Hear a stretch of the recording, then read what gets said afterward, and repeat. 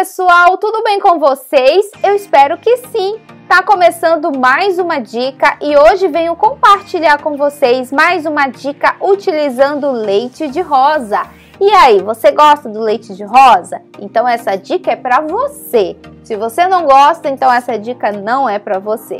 Bom, gente, essa dica é para você clarear as manchas da sua pele, clarear melasma e também clarear marca de cicatriz da sua pele. Essa dica vai ajudar a gente a diminuir os poros e controlar a oleosidade da sua pele. Além disso, gente, ela vai também fazer aí um tratamento nas marcas de expressões.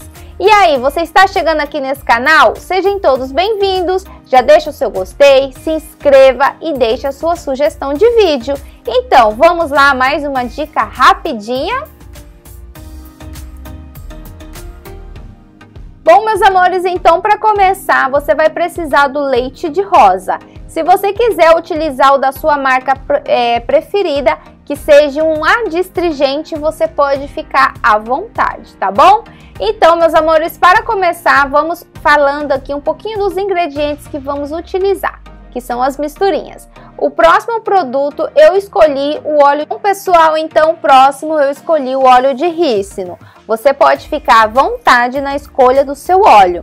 O óleo de rícino ele vai hidratar, vai nutrir, vai controlar os radicais livres da nossa pele.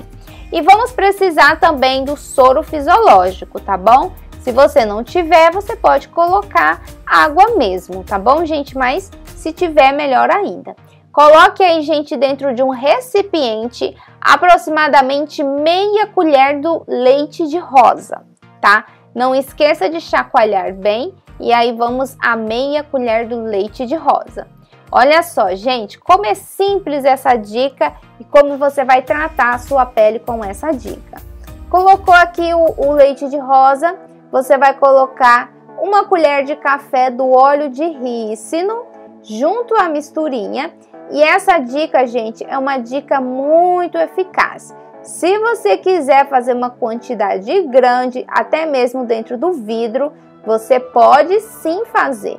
Lembrando que você é, vai colocando aí, gente, os ingredientes dobrado, tá? Dentro da misturinha. E é sempre importante fazer um teste alérgico. Misturou bem, gente. Olha só como foi simples. Agora você vai vir com o soro fisiológico e vai colocar também aproximadamente uma colher de café.